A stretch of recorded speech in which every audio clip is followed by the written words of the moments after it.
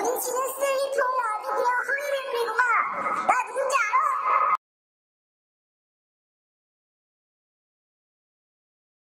네, 어떻게 오셨죠?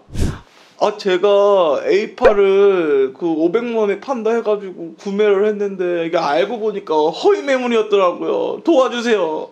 걱정 마세요. 제가 해결해드리겠습니다. 네, 여보세요. 저 허위 매물 잡는 유튜버인데요. 지금 어디 계세요? 글로 가겠습니다. 거기 꼼짝 말고 기다리세요. 구독자님, 저 사람 맞아요? 오케이 이거 위험하니까 여기서 기다려서 제가 해결하고 오겠습니다 어 당신이 우리 구독자한테 허위 매물 했어?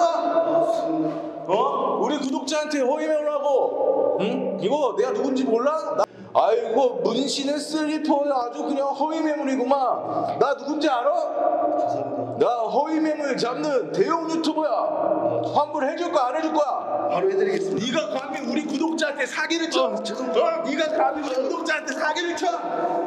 환불 해줄 거야? 바로 하겠습니다. 바로 해주는 거야. 네, 바로 해주는 거야. 네 알겠습니다. 네, 안녕하세요. 구독자분들이 보시는 허위매물 잡는 유튜버 영상은 보통 이렇게 이제 마무리가 되죠. 근데 그 다음 뒷 얘기가 궁금하신 분들이 있으실 것 같아서 이 영상을 한번 제작해 봤습니다. 영상 보시죠.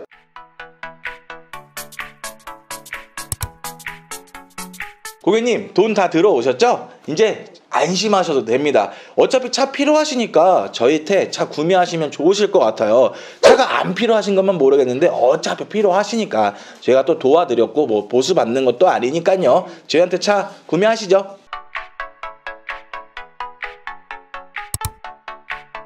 고객님 돈 다 들어오셨죠? 아 제가 다 해결했습니다. 아, 네, 대표님 덕분에 잘 해결했습니다.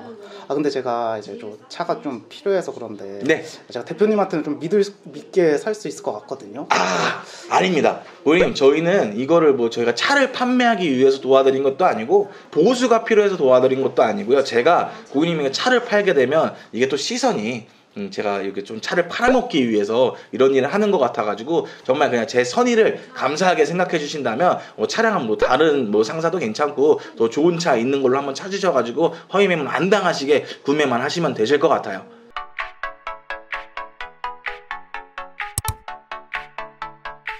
의자님 보셨죠? 제가 해결해 드렸습니다. 우선 잠깐 사무실 내려가 계세요. 화장실 좀 들렸다 가겠습니다. 형 나와 나와 나. 아, 저 잘했어.